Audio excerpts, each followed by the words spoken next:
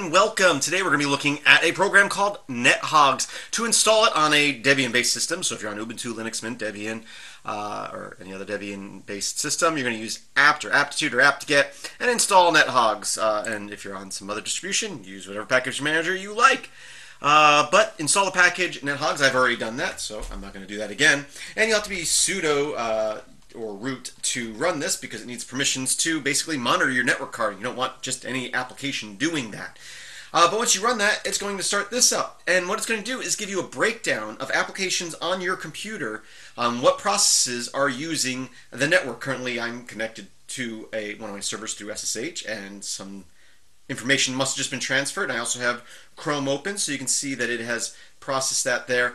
Let me go ahead and um, open up another shell here, and I'm just going to do a wget to test.com, and uh, and then I'll just pick that to dev null. But you'll see when I run it, it shows up there as wget and gives you the process ID, and it tells you what user ran that process and on what device, network device, it's being used. If I run that command again, wget, you know, same exact command, it's going to show up as a different uh, item in the list because it's a new process. I started a new process, but still you'll see that the user that's doing it, what uh, the program is that ran it, on what network interface, you know, what's been sent and received. Uh, and now let's go ahead and go down um, and open up Chrome here. I'm at my website. I'll just type in Linux, and as you can see, Chrome all of a sudden the uh, information sent and the information received went up. So you can see real-time traffic, the speed of what's being sent by which process. So if for some reason your system's being bogged down, this is one way you can see,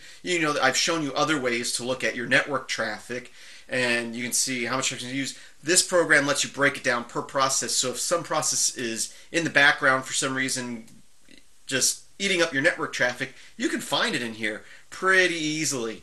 Um, it gives you the process ID so you can kill it. Uh, it lets you know what user is running it and of course the, the program name. Now, let's look at some uh, options for this. So Q to get out, oops, sorry, gotta get in the right shell window here. Q to kill out of that. Let's go ahead and make this full screen.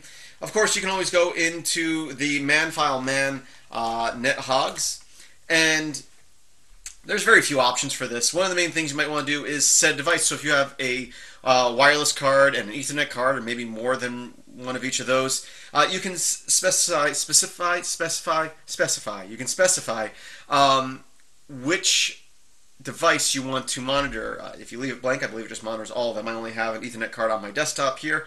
Um, but that way you can narrow it down to device. The only other real options you might really use here is you can uh, set up how often it refreshes and how it sorts the traffic.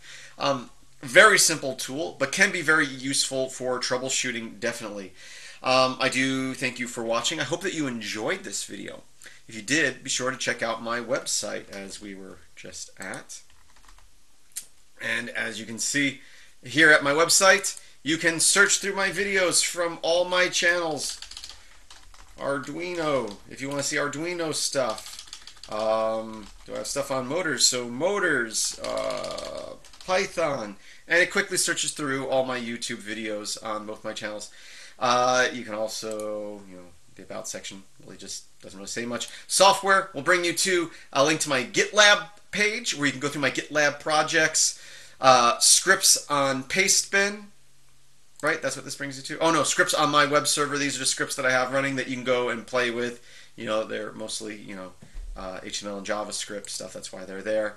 Notes is a way to search through my Pastebin account. Uh, so you can do that here. You can type in something like bash wget.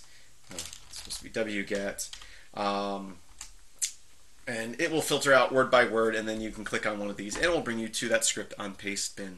So yeah, check out my website, uh, Shell of course, is a shell interface. I did a video on that. If you don't like using a web browser, or you like using a text-based web browser, or you just want to use wget or curl to search through my videos and my website, uh, this is how you do that, and with instructions on how to use it.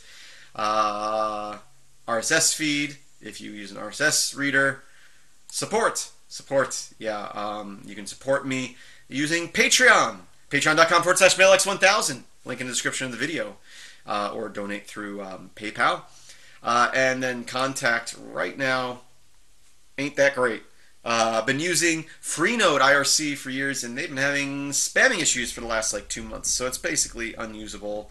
I've tried changing settings uh, in the channel, but I don't want to block new users. Um, I don't know.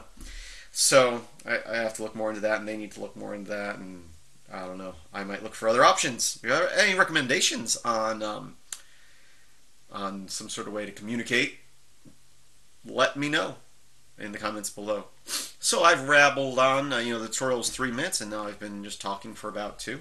So I guess that's about it. Again, I thank you for watching. I hope that you have a great day. Like, share, subscribe, comment. Boo!